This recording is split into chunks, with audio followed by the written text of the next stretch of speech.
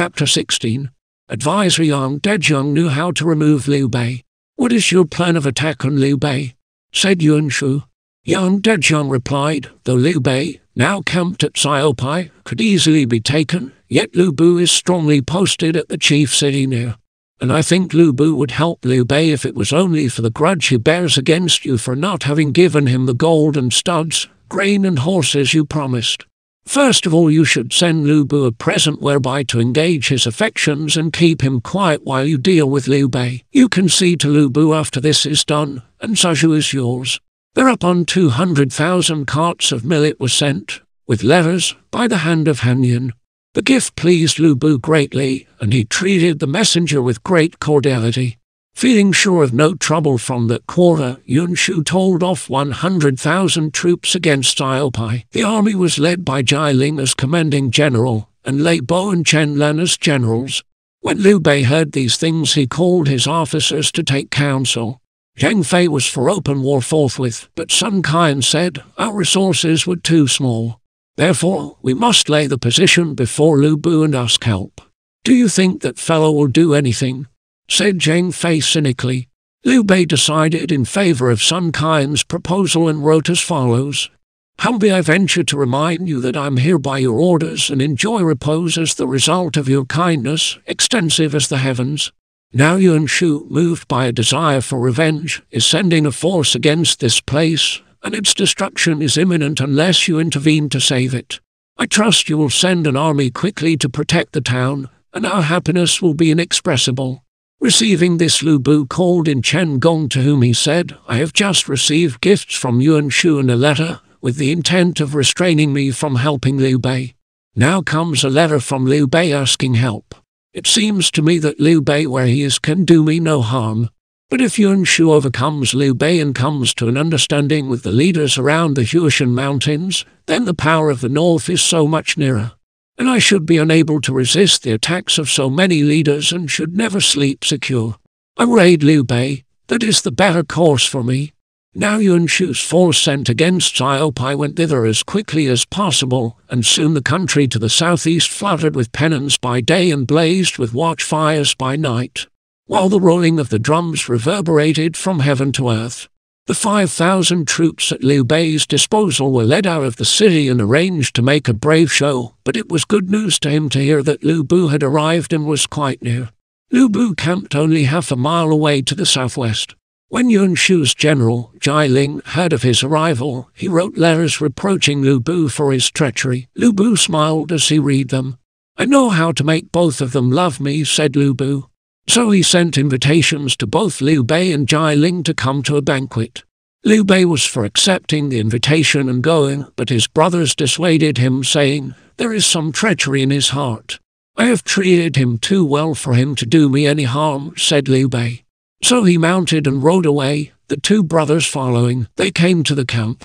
The host said, Now by a special effort I have got you out of danger. I hope you will not forget that when you come into your own. Liu Bei thanked him heartily and was invited to take a seat. Guan Yu and Zhang Fei took up their usual place as guards. But when Ji Ling was announced, Liu Bei felt a spasm of fear and got up to go away. You two are invited for the particular purpose of a discussion, said the host. Do not take it amiss. Liu Bei, being quite ignorant of his intentions, was very uneasy. Presently his fellow guest entered. Seeing Liu Bei in the tent, and in the seat of honor, Ji Ling was puzzled, hesitated and tried to withdraw. But the attendants prevented this and Lu Bu, advancing, laid hold of him and drew him into the tent as if he had been a child. Do you wish to slay me? asked Ji Ling. Not at all, replied Lu Bu. Then you are going to slay Longers? No, not that. Then what does it mean? Liu Bei and our brothers. Now, General, you're besieging him, and so I have come to the rescue. Then slay me, said Ji Ling. There would be no sense in that. All my life I have disliked fighting and quarrels, but have loved making peace, and now I want to settle the quarrel between you two. May I ask how you think of doing so? I have a means and one approved of heaven itself. Then Lu Bu drew Ji Ling within the tent and led him up to Liu Bei. The two men faced each other full of mutual suspicion, but their host placed himself between them and they took their seats, Liu Bei on the right hand of the host. The banquet began. After a number of courses almost in silence, Lu Bu spoke, saying, I wish you two gentlemen to listen to me and put an end to your strife. Liu Bei made no reply, but Ji Ling said, I have come with an army of 100,000 at the express bidding of my master to take Liu Bei. How can I cease the strife? I must fight. What? exclaimed Zhang Fei drawing his sword. Few as we are, we regard you no more than a lot of children. What are you compared with a million yellow scarves? You dare hurt our brother. Guan Yu urged him to be silent, saying, Let us see what General Lu Bu has to say first. After that there will be time to go to our tents and fight. I beg you both to come to an understanding. I cannot let you fight, said Lu Bu. Now on one side Ji Ling was discontented and angry, on the other Zhang Fei was dying for a fight, and neither of the two chiefly concerned would signify assent. Then suddenly the host turned to his attendants, saying, Bring my trident halberd. They did so, and he sat there gripping that graceful but effective weapon in his right hand. Both guests felt very ill at ease and turned pale. Lu Bu went on saying, I have tried to persuade you to make peace, for that is the command of the Most High. It shall be put to the test. He then bade his servants take the halberd outside beyond the gate and set it up. Then speaking to his two guests, he said, That gate is 150 paces distant. If I can hit that left branch of the halberd head with an arrow, you will both withdraw your armies. If I miss, you can go away and prepare for immediate battle. I shall stand against either of you who does not abide by what I say. Ji Ling thought to himself, that small mark at that distance, how could anyone hit it? So he assented, thinking he would have plenty of fighting after his host had missed the mark. Of course Liu Bei was willing. They all sat down again and wine was served. When this had been drunk, the host called for his bow and arrows. Liu Bei silently prayed that Lu Bu would hit the mark. Lu Bu turned back his sleeves, carefully fitted an arrow to the string and pulled the bow to its utmost stretch. A slight exclamation escaped him as the bow curved like the harvest moon sailing through the sky. Twang! went the bowstring, and the arrow sped like a falling star, and it struck the slender tongue of the halberd head full and square. A roar of acclamation from all sides greeted the exploit. The multitude people often hail their praise. Olubu was a wonderful archer, and the arrow he shot sped straight. By hitting the mark he saved his friend that day at his camp gate. He, the archer of ancient days, brought down each marking sun, and the apes that gibbered to fright young Yaoji were slain by him, one by one. But we sing of Lu Bu that drew the bow, and his feathered shaft that flew. For one hundred thousand soldiers could doff their mails, when he hit the mark so true. Lu Bu laughed loud at the success of his shot. Dropping his bow he seized his guest by the hands, saying, The command of heaven indeed. And now you cease from fighting. He ordered the soldier attendants to pour out great goblets of wine and each drank. Liu Bei in his inmost heart felt rather lucky. His fellow guest sat silent, nodding his head. Presently Ji Ling said, I cannot disobey your command, General, but let me depart. What will my master say and will he believe me? I will write a letter and confirm it, said Lu Bu. After a few more rounds of the wine, Ji Ling asked that he might have the letter and after that departed. When the brothers took their leave, Lu Bu again reminded Liu Bei, saying, Do not forget I have delivered you today. Liu Bei thanked him and departed. Next day the leaders broke camps, and the soldiers were gone. When Ji Ling had got back to the south of River Huai and told the story of the feat of archery and the peacemaking that followed, and had presented the letter, his lord was very wroth. Lu Bu repays me for all my grain with this bit of play acting, cried Yuan Shu. He has saved Liu Bei, but I will lead a large army myself and settle both Liu Bei and him. Be careful, my lord, said Ji Ling. Lu Bu is braver and stronger than most leaders and has a wide territory. And Liu Bei together make a powerful combination, not easy to break. But there is another cause. I have found out that his wife, Lady Yan, has a daughter just of marriageable age, and as you have a son, you could arrange a marriage alliance with Lu Bu. If his daughter wedded your son, Lu Bu would certainly slay your enemy for you. This is called relative above stranger plan. This scheme appealed to Yuan Shu, who soon set about its accomplishment. He sent presents by the hand of Han Yin, who was to discuss the question. When Han Yin saw Lu Bu, he said, My master has an immense respect for you, illustrious sir, and he desires to ensure perpetual alliance between the two families by a marriage. an alliance such as existed between the ancient states of Qin and Jin. Lu Bu was well disposed toward the scheme, but went in to consult his wife. Now Lu Bu had two wives and one concubine. He first married a lady of the Yan family, and she was the legal wife. Then he took Diao Chan as a concubine. And while he was living at Xiaopai, he had married a secondary wife, a daughter of Cao Bao. Lady Cao had died quite young leaving no issue, neither had Diao Chan borne any children, so that Lu Bu had but one child, this daughter of whom he was dotingly fond. When he broached the subject, his wife said, The Yuans have dominated the regions around the river Huai these many years. They have a large army and are very prosperous. One day Yuan will become emperor, and our daughter may hope to be an empress. But how many sons has Yuan Shu? Only this one. Then we should accept the offer. Even if our daughter does not become empress, Xuzhou has a new ally. Lu Bu decided to accept and so treated the messenger with extreme generosity. Han Yin went back with a favorable answer. The wedding gifts were then prepared ready for Han Yin to take to the bride's family.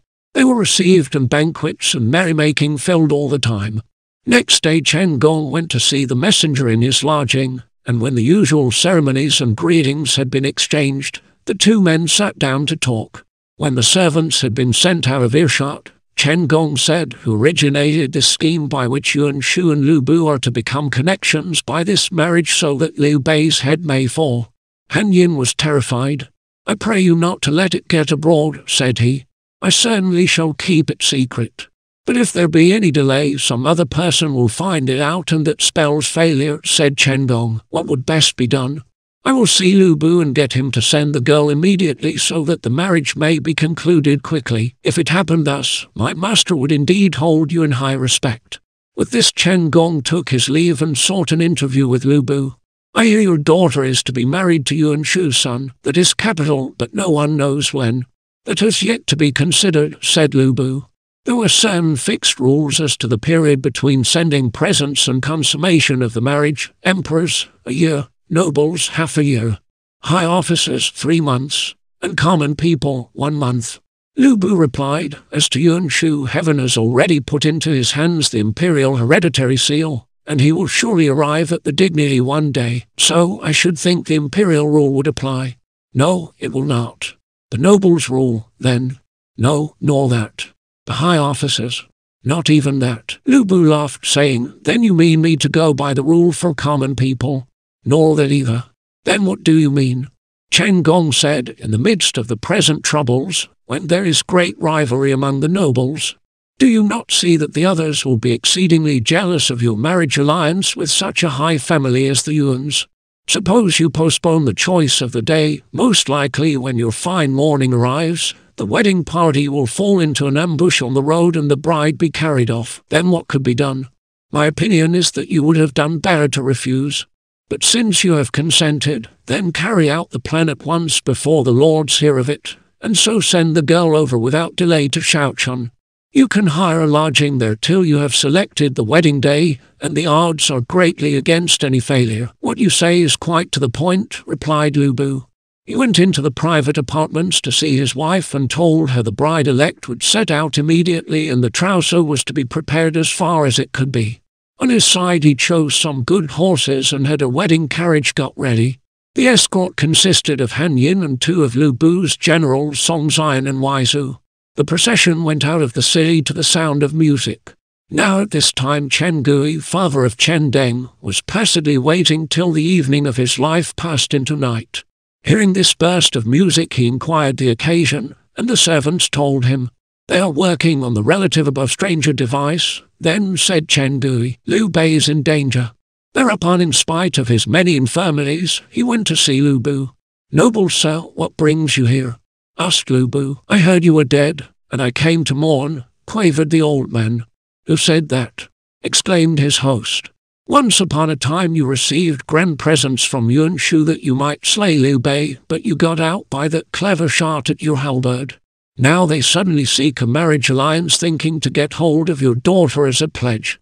The next move will be an attack on Xiaopai. That gone, where are you? Whatever they asked in future, grain or troops or anything else, and you yield, will bring your own end nearer and make you hate hated all round. If you refuse, then you are forced to the duties of a relative, and that will be an excuse to attack you openly. Beside this Yuan Shu intends to call himself emperor, which would be rebellion, and you would be of the rebels' family something abominable, which the multitude people would not suffer. Lu Bu was much disturbed to hear this.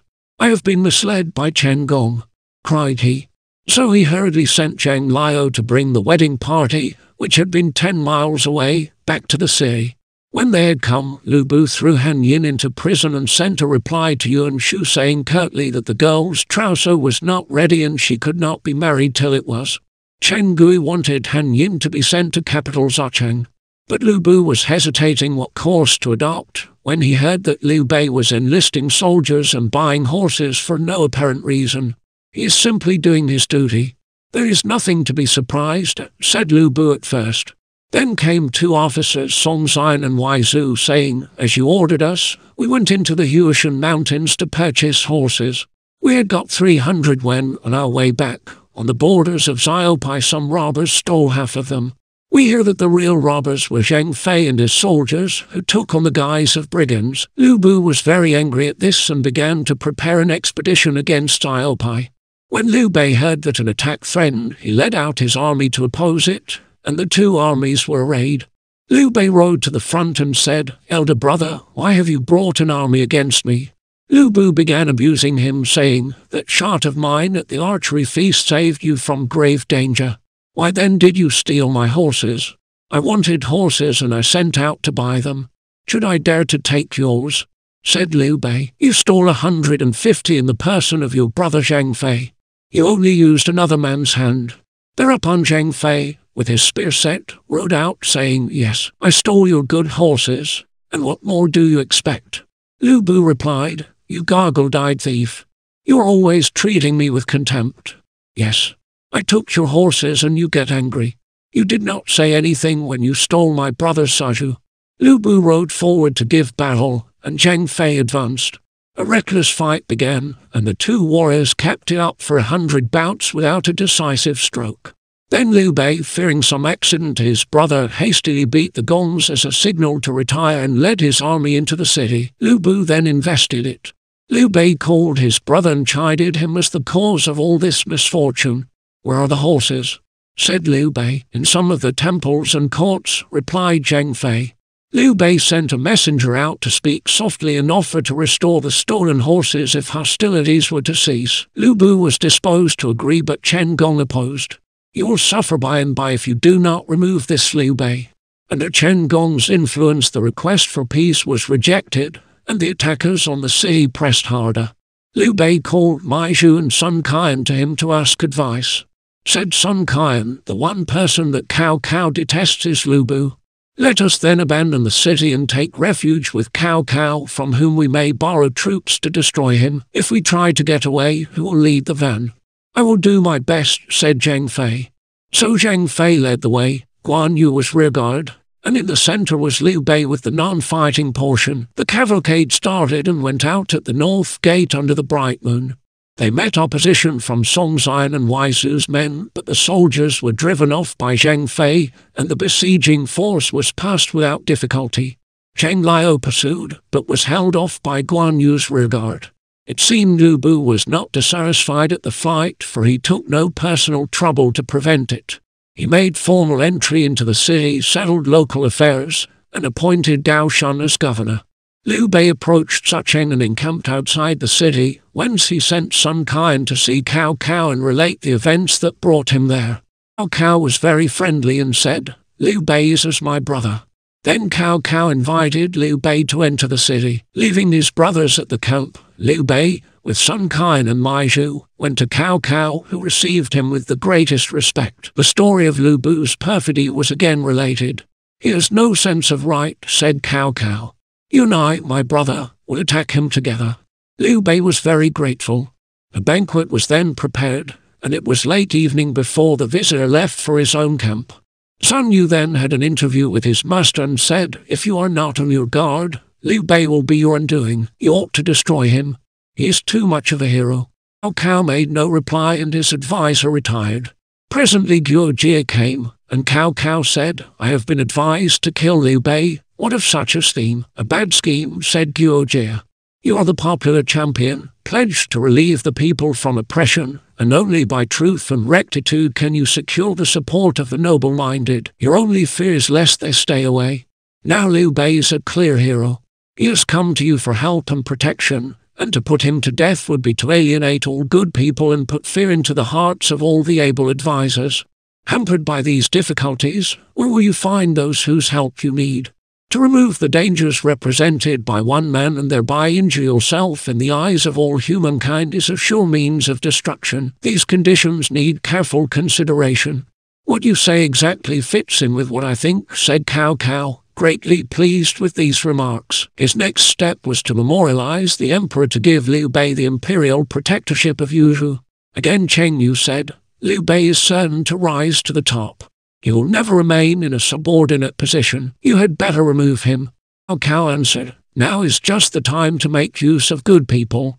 I will not forfeit the regard of the world for the sake of removing one individual. Guo Jia and I both see this in the same light.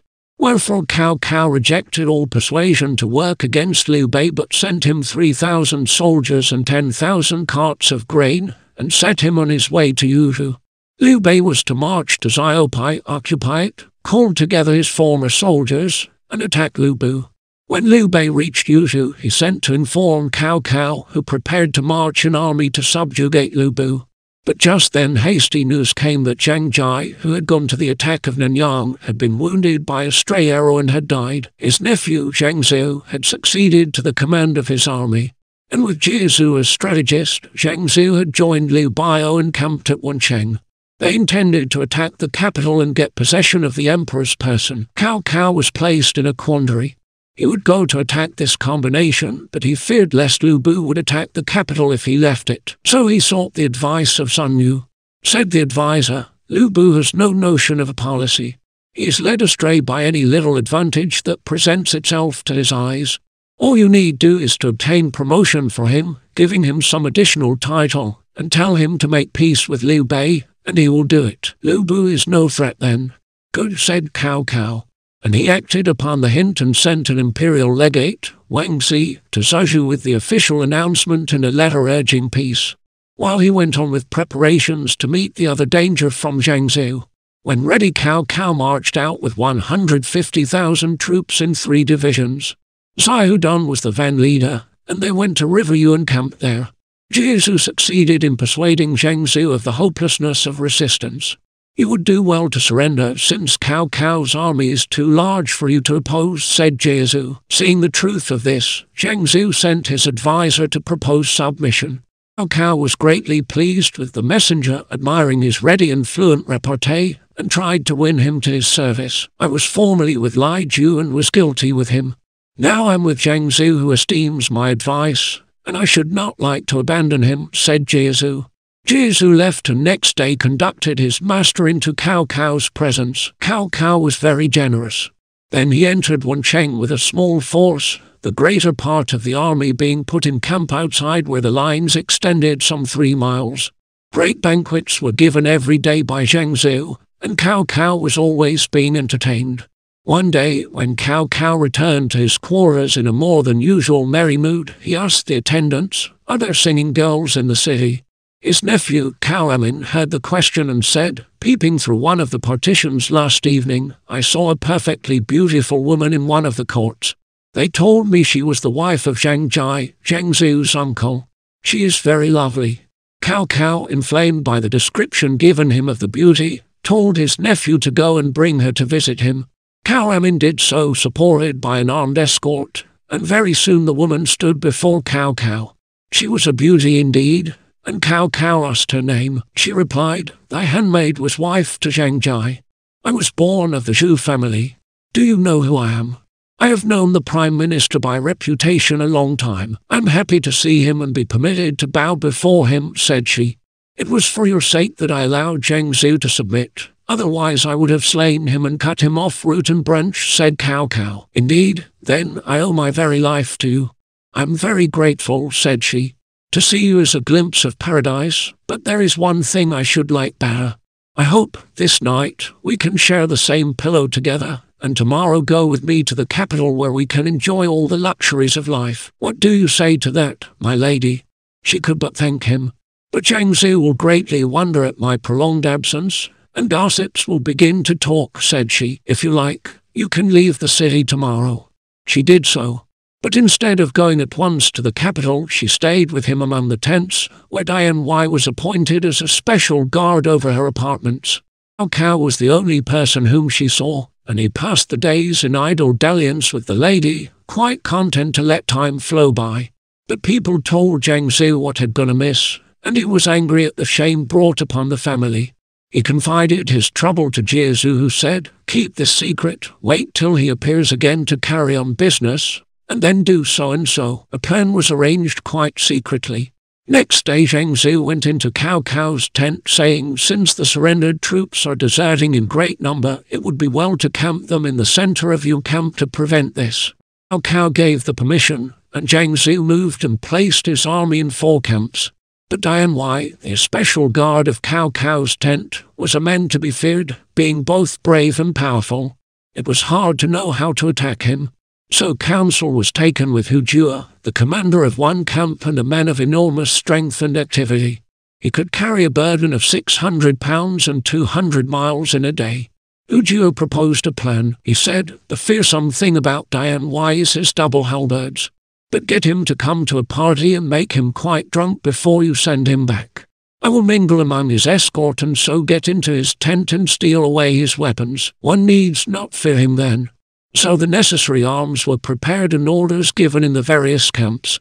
This done Zhang Xiu gave a banquet, and the intended victim was invited and plied vigorously with wine so that he was quite intoxicated when he left. And as arranged, Hu Juer mingled with his escort and made away with his weapons. That night, when Cao Cao was at supper with Lady Zhu, he heard the voices of men and neighing of horses and sent out to ask what it meant. They told him it was the night patrol going the rounds, and he was satisfied. Near the second watch of the night again was heard some noise in the rear of his tent, and one of the fodder carts was reported to be burning. One of the soldiers has dropped a spark. There is nothing to be alarmed at, said Cao Cao. But very soon the fire spread on all sides and became alarming. Cao Cao called Dian Wei, but he, usually so alert, was lying down quite intoxicated. However, the beating of gongs and rolling of drums mingling with his dreams awoke Dian Wei, and he jumped up. His trusty halberds had disappeared. The enemy was near. He hastily snatched up an infantryman's sword and rushed out. At the gate he saw a crowd of spearmen just bursting in. Dian Wei rushed at them, slashing all around him, and twenty or more fell beneath his blows. The others drew back, but the spears stood around him like reeds on the river bank. Being totally without mail, he was soon wounded in several places. He fought desperately till his sword snapped and was no longer of any use. Throwing it aside, he seized a couple of soldiers and with their bodies as weapons felled ten of his opponents. The others dared not approach, but they shot arrows at him. These fell thick as rain, but he still maintained the gate against the assailants. However, the mutineers got him by the rear of the camp, and they wounded Dian Wei in the back with spear thrusts. Uttering a loud cry he fell. The blood gushed from the wound in torrents, and he died. Even after he was dead not a man dared to come in by the main gate. Cao Cao, relying on Dian Wei to hold the main gate, had fled in haste by the rear gate. Cao Anmin accompanied him on foot. Then Cao Cao was wounded by an arrow in the arm, and three arrows struck his horse. However, fortunately, the horse was a fine Dawan beast full of spirit and, in spite of its wounds, it bore its master swiftly and well as far as the bank of River Yu. Here some of the pursuers came up, and Cao Anmin was hacked to pieces. Cao Cao dashed into the river and reached the further side, but there an arrow struck his steed in the eye and it fell. Cao Cao's eldest son, Cao Ang, dismounted and yielded his horse to his father who galloped on. Cao Ang was killed by arrows, but Cao Cao himself got away. Soon after he met several of his officers who had rallied a few troops. The soldiers of Qingzhou under Xiahou Dun seized the occasion to plunder the people. Yu Jin took his army, fell upon them, and slew many. Thus he protected and appeased the people. The plunderers, meeting Cao Cao on the road, knelt down howling and said Yu Jin had mutinied and attacked them. Cao Cao was surprised, and he gave order to Xiahou Dun, Xu Chu, Li Dian, and Yu Jing to attack Yu Jin. Now when Yu Jin saw his master and a great company approaching, he at once stopped the attack and set his troops to make a camp. An officer asked him, The Qingzhou soldiers say you have turned traitor. Why do you not explain now that the Prime Minister has arrived? Why first make a camp? Yu Jin replied, Our enemies are coming up in our rear and are very close. It is necessary to prepare for defense or we shall not withstand them. Explanation is a small matter, but defense is very important. Soon after the camp was finished, Zhang Xiu fell upon them. Yu Jin himself rode out to face them. Zhang Xiu drew back. The other generals of Yu Jin, seeing he advanced thus boldly, also attacked, and Zhang Xiu was overcome. They pursued him a great distance until his force was almost annihilated. With the miserable remnant he finally fled to Liu Biao. Cao Cao's army reformed, and the commanders mustered. Then Jin went to see his master and told him of the conduct of the Qingzhou soldiers and their looting and why he had attacked them. Why did you not tell me before you made the camp? Jin related what had occurred. Said Cao Cao, when the first thought of a leader in the time of greatest stress is to maintain order and to strengthen his defences, giving no thought to slander but shouldering his burdens bravely, and when he thereby turns a defeat into a victory, even of the ancient leaders, can excel Jin. Cao Cao rewarded Jin with a golden armor and the lordship of Yishou. But Cao Cao reprimanded Xiahou Dun for the lack of discipline among his soldiers. Sacrifices in honor of the dead warrior Dian Wei were instituted. Cao Cao himself led the wailing and paid due honors. Turning to his officers he said, I have lost my firstborn son, but I grieve not so heavily for him as for Dian Wei. I weep for him. All were sad at the loss of this general. Then orders were issued to return to the capital. When Imperial Legate Wang Xi, bearing the imperial decree, reached Xuzhou, he was met by Lu Bu, who conducted him into the residence where the decree was read. It conferred Lu Bu the title General who pacifies the East, and a special seal accompanied the mandate. The private mediating letter was also handed over and the messenger detailed the high appreciation in which Lu Bu was held by the chief minister of state. Lu Bu was greatly pleased. Next came news that a messenger from Yuan Shu had arrived. When he had been introduced, he said, My master's project of declaring himself emperor is advancing. He has already built a palace and will speedily choose empress and concubines and would come to the south of River Huai. He is looking forward to receiving the fiancée of the heir apparent. Has the rebel gone so far? cried Lu Bu in a rage. He put the messenger to death and Han Yin into the cage. He drafted a memorial of thanks and sent it to the capital, at the same time sending, to Han Yin, the unfortunate agent who had arranged the marriage alliance. He also replied to Cao Cao's private meditating letter asking to be confirmed in his protectorship of Xuzhou. The letter was sent by the hand of Chen Deng. Cao Cao was pleased to hear of the rupture of the marriage arrangement between the houses of Yuans and Lus, and forthwith put Han Yin to death in the marketplace. However, Chen Deng secretly told Cao Cao saying, Lu Bu is cruel, stupid, and facile. The longer he remains, the worse. I know Lu Bu quite well, replied Cao Cao. He is a wolf with a savage heart, and it will be hard to feed him for long. If it had not been for you and your father, I should not have known all the circumstances, and you must help me to get rid of him. Anything the Prime Minister wishes to do shall have my assistance, was the reply. As a reward, Cao Cao obtained an annually grant of 2,000 carts of grain for Chen Gui and the governorship of Guangling for Chen Deng, who then took his leave. As he was saying farewell, Cao Cao took him by the hand, saying, I shall depend upon you in the eastern affairs. Chen Deng nodded acquiescence. Then he returned to Lu Bu, who asked him how the visit was. Chen Deng told him, My father received a generous annuity, and I was made governor of Guangling. Lu Bu enraged, saying, You did not ask Xuzhou for me, but you got something for yourself. Your father advised me to help Cao Cao by breaking off the marriage, and now I get nothing or all of what I asked, while you and your father get everything. I have been victimized by your father. He threatened Chen Deng with his sword. Chen Deng only laughed, saying, Oh general, how unwary you are. I unwary. When I saw Cao Cao, I said that to keep you going was like feeding a tiger. The tiger must be kept fully fed or he would eat humans.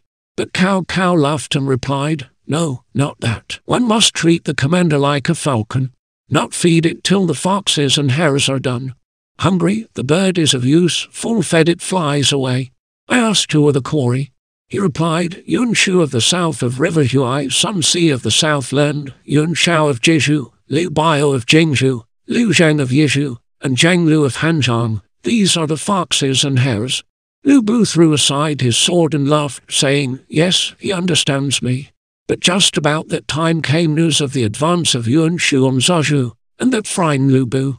When discord rose between Qin and Jin, they were attacked by Yuan Wu. And when a promised bride never came, an army marched to enforce the claim. How all this fell out will be shown in the next chapter.